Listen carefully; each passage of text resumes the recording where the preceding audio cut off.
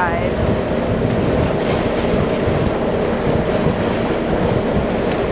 We're right underneath us. Look down. We've got some pilot dolphins